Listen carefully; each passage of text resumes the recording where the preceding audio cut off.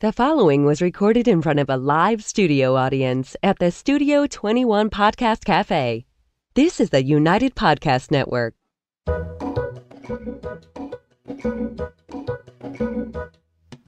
Welcome to the Quirky Dog Podcast, inspired by some of the quirkiest dogs you can ever imagine and the owners who love them. This podcast is brought to you by the quirky couple themselves, Scott and Jess Williams.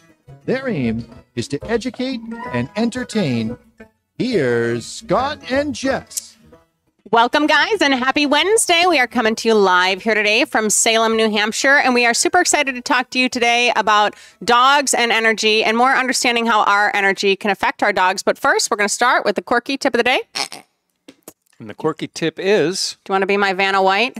well, we have these uh, biothane dog collars that you can get printed with your dog's name and phone number on them. Stamped. I'm loving them. I'm yeah, loving them. it doesn't come off. It's pretty good. So it's a nice waterproof collar. It works well. If your dog gets lost, it's nice to have a phone number on there. I'm not crazy about putting the dog's name on my collars because I don't want someone to find my dog, know my dog's name, and build a relationship up with my dog and then keep him. So I would rather put the word reward Eh. And the phone number. Call me, I'm going to pay you. Didn't say how much it's going to be, but there's going to be money in it for you if you get my dog back to me. I'm That's a super. little- I'm little super tip. pumped about these though. Um, Ninja Bling out in Missouri is making them. Uh, my friend Tracy Custer from a long time ago. She's a cool disc dogger. So check it out. But before I've only been able to get those with cloth, and I always have to wash them. So I'm pumped about the biothane. Maybe put a link in there on our. Oh, maybe a little link, little little link go. out. All right, we are going to talk about energy and dogs. So, how did this podcast? Well, first we got to talk about our farmhounds. So, if you have Mm-hmm. not seen last week's podcast with the farmhounds interview, I'm so pumped about farmhounds. Our dogs are loving farmhounds, and this rawhide right here, I would say each of our dogs have had over an hour with it. It's probably been in our house for two weeks, and it's still rocking. So, I am obsessed with these Yeah. guys. When I hear rawhide, it just Yeah, scares we the crap freak out of out me. with- yeah. I don't like. I've heard so many negative, you know, rawhide stories about intestinal blockage and things like that. So we wanted to try this out. It was originally an eight-inch long, I think it was, Yep. uh, rolled rawhide. And so we gave it to my Malinois, who has a monster grip and crunch and big bite, and he chewed on that thing for 45 minutes and maybe took an eighth of an inch off the end of it or something. It cleaned teeth. It, they We were to able to really enjoy it for a long time. Everybody's poop was great. So go check out last week. There's a link for a discount. We're obsessed with farmhounds. And if you have heavy chewers, definitely the hides. We had to show you to prove it because No, we're so freaking excited. I just want to conclude with that being said, you don't just give your dogs things like this and let them go out in the yard and chew it unsupervised for three or four hours. yeah. Moving along. All right. So, energy and dogs. Obviously, you guys know it from, you know, if you get the flu or something and you're kind of down for a few days, your dogs normally, hopefully, if they are good dogs and they're trying to be there for you, they mirror your energy in a certain way and maybe they're down for the count too. They can do a little less activity, they can be there with you. We negatively and positively affect our dog's energy pretty much with every mood we are in, um, no matter where our dogs are at. So, you started talking about energy as far as like expending energy, like physical energy. I think the reason that I um, wanted to break down this energy issue a little bit more is because when I talk to clients about energy, what they're thinking about is physical energy, expending physical energy. They're trying to exhaust their dog so that their dog is better behaved, more just more pleasant to be around, which is totally understandable. Um, and that is one aspect of energy I thought we could talk about briefly. But then there's the other aspects of energy where, and there's several different things that we listed, but how dogs um, affect each other uh, in a pack uh, situation, like a dog daycare, for example, where you can have 25 dogs in there having a great time and it's peaceful and playful and calm and, and looks really nice, safe. And then you get one dog in there, a new dog is added that was evaluated, that isn't aggressive, but its energy level is hectic. It's just a high strung dog. And maybe it's a little more vocal. Maybe it's a little bit, you know, you know, it's getting into those kind of type of noises. And that freaks out other dogs. And then they like, what the frig is up with this dog? And then you can have a dog that was well behaved, maybe had been in that dog daycare for two or three years, and all of a sudden it attacks another dog. And why? Because the dynamics of the energy in that dog daycare changed and it brought something up in the other dogs, and one of them went too far. And then that dog gets kicked out, and the dog that is the reason for it is still there. You know. Yeah, So that's just another aspect of energy. There's a, there's a lot of different, and that's not even what Jess was talking about with your own energy or emotional state can heavily and typically will heavily impact your dog, just like it would impact your kids. If you had a terrible day at work and you had bad traffic and you come in the door all pissed off, your kids are not going to be getting under your feet. They're going to be like, give the guy Yeah. a wide berth because he obviously had a bad day.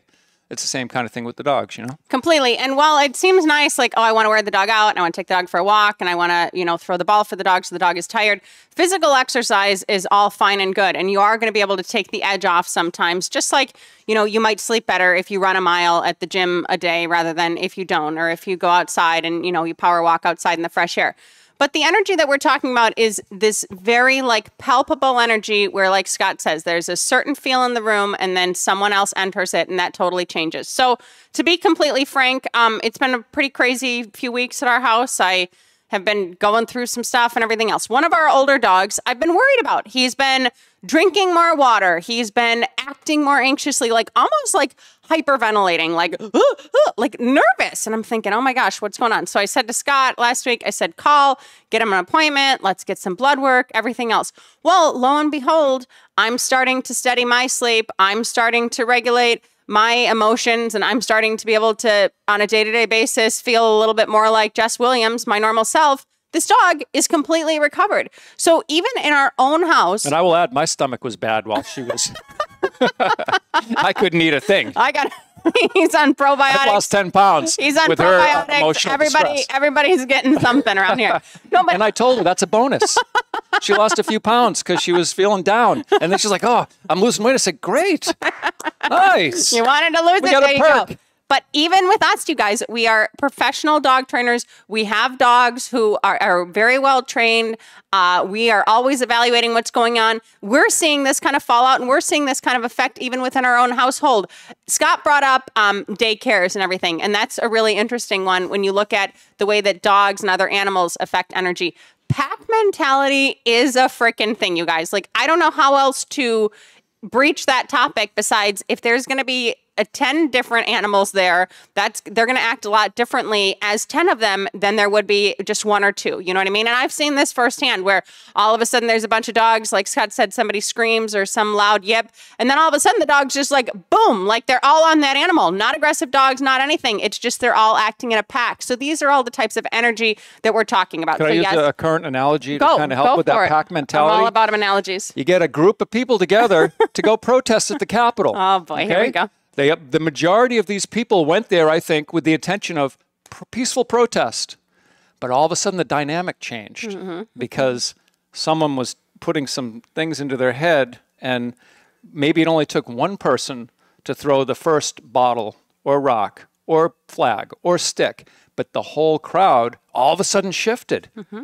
The crowd, a lot of those people, not all, but a lot regretted what they did- didn't come there to do that. They didn't know what was up, and there was, you know, but it was a, it was a crowd psychosis, a crowd thing, shift, you know, and and there's early on in my life, I you know was reading a lot about how to control crowds because I thought it was interesting, you know, and it, and it goes into the lecturing from a stage, maintaining everyone's attention, and um, which Hitler was a genius, a natural genius at getting people's attention, grabbing it, and people are just like, "What the heck is up with this guy?" You know, And dogs don't necessarily have a natural leader so much. I mean, obviously in the wild with wolves and everything, you have more of this like alpha omega thing where there's a clear leader and everything else. But if you have, you know, a whole calm pack of dogs and then you introduce a dog in there with a very high energy, there's going to be a different feel. Same thing with fear. You get a lot of that with Mm. fear. So you have a bunch of dogs that are super confident. You introduce a fearful dog into that, that nervous energy all of a sudden starts, they start all looking around like, what's going on? Like, they don't look this- around. I think the natural inclination is to kill fear. dogs want to kill fear. You get one dog that's screaming, that's in pain or something, and dogs like go at it quick. Yeah. And This like this prey, this yes, prey gets yeah, they hear that high right away. they- they sense a weakness, and they want to kill it, and that's just something that goes back thousands of years. It's not that you can't stop this and train and and make not allow that to happen. You can certainly control the environment, But if you let dogs be dogs, things can get crazy real quick. Yeah, and then the other thing we're going to introduce here before break, and then we're going to tell you how your energy can change and how you can more positively affect all these situations are kids. Kids are a really big one to consider. A lot of dogs don't freaking like kids, and that's fine. Like, I don't blame them. I get it. Like, they're little miniature humans and they're screaming and snotty and they're scary. I will say that I would rephrase that and say that they don't dislike kids. They get nervous around Yes. the energy Yes. of a certain Yes. children. They're unsure. You could be around a nursery school. You could take a group of kids to see a dog, and the dog could be good with eight out of nine or ten kids, and there's one kid there that the dog is like, I just can't take this kid around my face, you know. So, and that's the, the other thing I was thinking about with, um, like when dog bites happen, and quite often there's an awkward pause before a bite. A dog will freeze when they're stressed, fearful, tense, not, you know, they're not sure what's up. When they freeze, that's for me a sign stop moving forward. Don't get in this dog's space. Give this dog some room. Preferably move him around. Get his body moving because he's getting locked up and he's going to make a bad choice. But kids don't know that. So a kid can get in the dog's face. The dog can freeze up, stressed, and the kid just keeps coming in, and then boom, it happens. And it's you know? also kids when they're learning to move and stuff. They they're they're moving their arms like they kind of look like weird like Oh, yeah. Like it's very concerning. So all of this stuff, the dog's seeing this, it's sensing pressure. If you're not reacting in a certain way, then you can get to an issue. Okay, so we got energy and how it affects dogs, and now we're going to tell you how to have all the energy affect the dogs in a good way after break. We'll see you after the commercial. All right, we are back. We had a little uh, Kuranda fun, but we're going to still have the link. So if you don't that, that was a mindfulness moment. all right, we're going to talk about. Well, we got to do our quickie question of the day real quick. Where's the question? You're just the squeaking pig guy. Come on now. All right. The quirky question of the day was My dog has separation anxiety. What should I do about it? Big topic. We're going to condense it quick. What are your thoughts? Well, I would just say structure. It depends. There's so many variables with that. It's not easy to give a straightforward answer because some dogs are anxious because they just got put in a new home. You don't need to do anything. Let them settle in. It might take a month. They're all better. There's different. You might be creating the anxiety, and that's another issue. Then you have to start changing your behavior. But Yeah. quite often, just uh, regardless of when, how, or why it's happening, by implementing some structure into that dog's life, will start to ease the anxious behavior. And I would say my three pronged approach normally, and I've probably said this in some way, shape, or form before on the podcast, is crating is a big one. Crating is really important when you're home, when you're not home overnight, that the dog can stay in a crate and deal.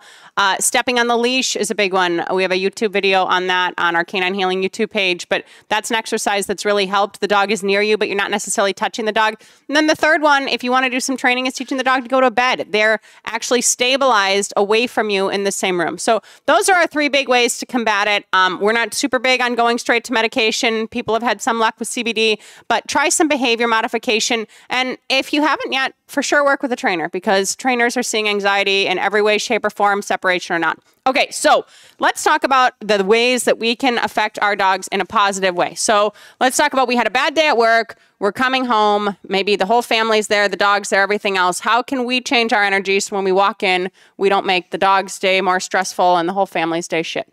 Well, uh, I guess that really starts with emotional maturity. Oh, good one. So you're having a shit day. Does that mean that everyone that you interact with moving forward has to also have a shit day? I would hope not. No. So, So- one good thing is these transitions, you guys. So we always talk about this with the dogs too. So like going through the door, take a deep breath, like get your head, reframe your headspace, take two minutes in the car, take 30 seconds, not on your phone before you go inside.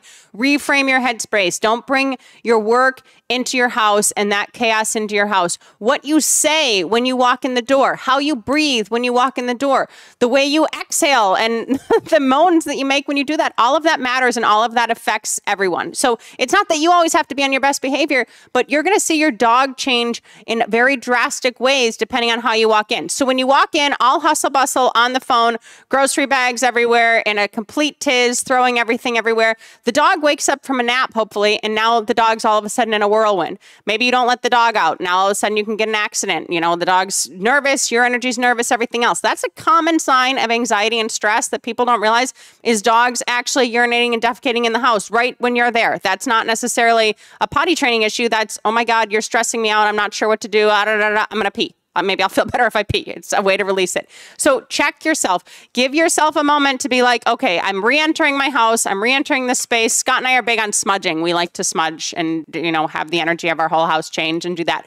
So you know maybe you haven't smudged in a while. Maybe you don't know what smudging is. Maybe you just do this small practice where you're like, okay, I'm going to light incense, and after I light this incense, I'm going to reframe the way I'm thinking about things and the way I'm treating my family members and my animals and everything else. As far as stress levels, uh, that like for a fearful dog, let's talk about that because I always think that you should Could really I- counteract that. Yeah, go ahead. Can I just add to that when you get Yeah. home and you're having a rough day?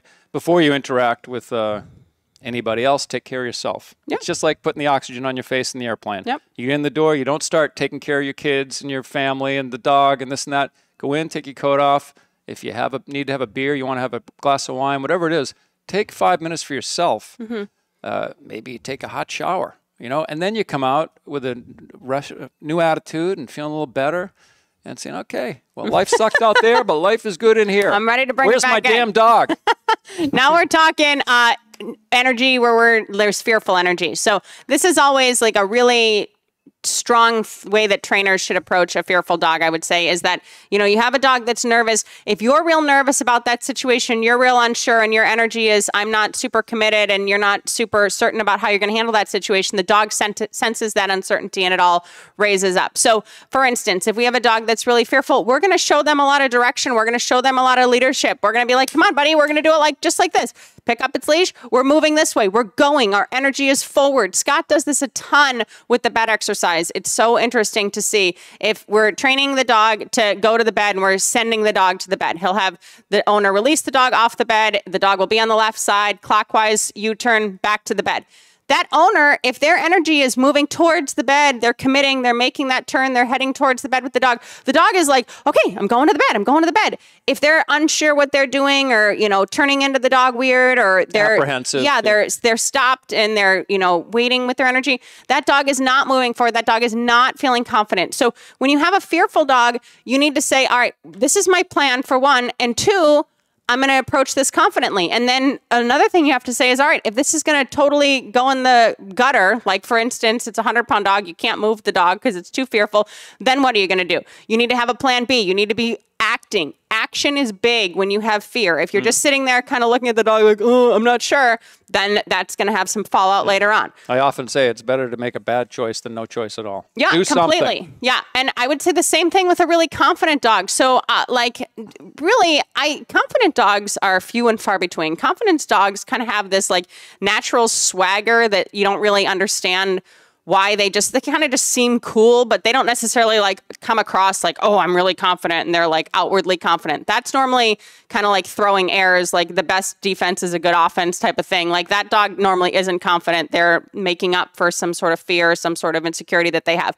A confident dog that's really sure of itself that's like whatever buddy whatever you throw at me i'm going to deal with. If you come in with too much confidence now you guys can almost butt heads. It's almost like a couple that like they're both a type a personality know anything about that. I mean, Well, we're not We're both type A personalities, so that works out fine for us. But really, you're you're you're seeing this where you have a confident dog. If you have an owner that comes in or a trainer that comes in and says, "Oh, well, that dog, you know, thinks that it's confident, but I'm as confident. I'm just more," and it becomes into this like power struggle and this muscling. You're not going to get anywhere with that either. So you have to be able to kind of segue these energies together so they're working in a symbiotic way. What were you going to say? I was going to say, uh, you know, a, another way of describing a confident dog is a dog that does not have fear controlling its behavior. If it's not Mm-hmm. fearful of noises and this and that and the other thing, the opposite is it's just comfortable and confident walking down the street. Yeah, a lot you of times it, people almost say, "Oh, that dog's really dumb," or "That dog's really lazy." You know, like like a bulldog that just sleeps through everything. No, that dog just doesn't give a crap. That dog's just okay in its own skin. It's not just losing its mind every second of every day. I'll say the dumbest dog is probably uh, smarter than uh, a lot smarter than we give it credit for. Yeah, let me put true. it that way. The dumbest dog is a lot smarter than the smartest human, probably. Okay, so we're going now with kids. We're talking kids. Your dog has nervous energy with kids. What are you going to do? How are you going to kind of deal with that situation so everyone's safer? Well, one thing is, is stabilize the children. So we don't push kids on dogs. That's not like a real big thing that we care about. If our dogs aren't into the kids, it's like, all right, toss a cookie from five feet away, put our dog away. We're not trying to make that situation work. We don't care.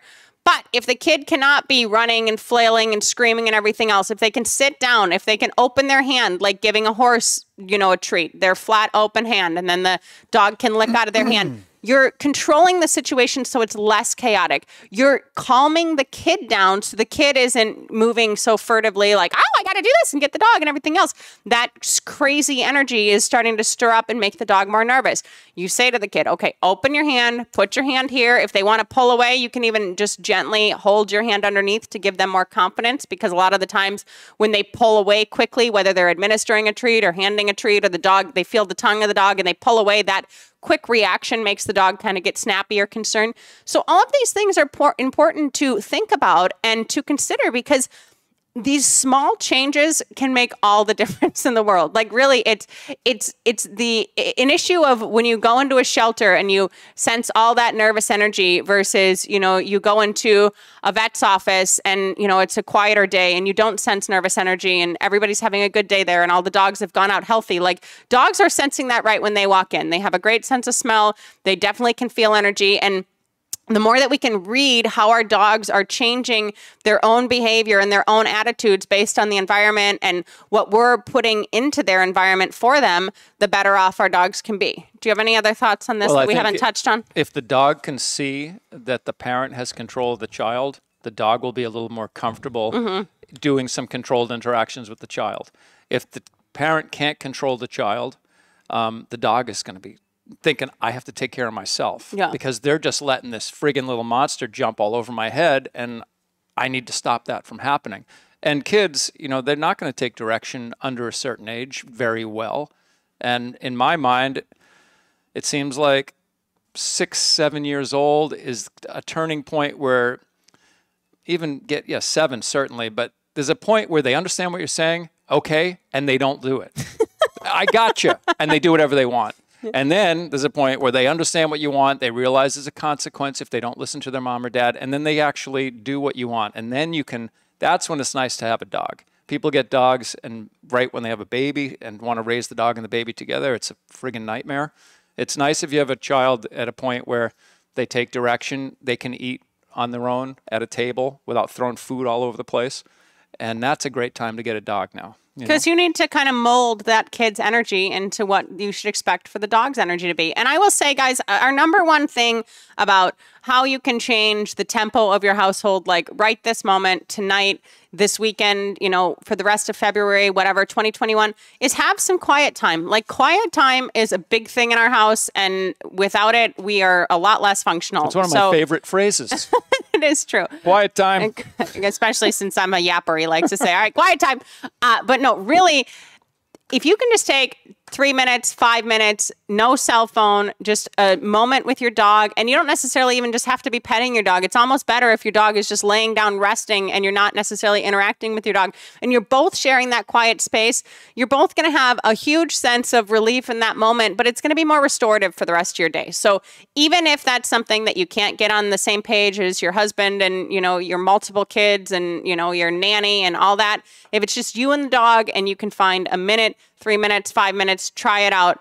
Have a quiet moment, no technology, and just take a deep breath because breathing, if nothing else, really helps dogs when they're stressed at the vet, when they're in pain, when they're scared, anything else. Breathing is much better than just a lot of chatting. Getting your breathing in sync with your dog's breathing is a technique that you can use to calm both of you Mm-hmm. because the dog will start to reflect your breathing pattern. You're going to control the breathing pattern. In the beginning, you might start at, at maybe the dog's, maybe a little bit of a pant, but you're going to try and get that dog to start to mirror your calm breathing and they're going to calm down with you. Yeah, the dogs are a reflection of your energy. Scott always says that, and it's a good phrase. So check your energy, make sure it's where you want it to be. If you don't like the energy of the house, you have the power to change that today.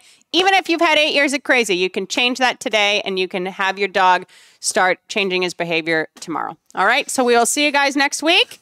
We have a special guest next week. I'm super excited to share with you. In the meantime, if you need anything from us, studio at thequirkydog.com and keep it quirky. Take care, guys. Peace. Peace. Check your energy. The views and opinions expressed by the hosts, guests, or callers of this program do not necessarily reflect the opinions of the Studio 21 Podcast Cafe, the United Podcast Network, its partners, or affiliates.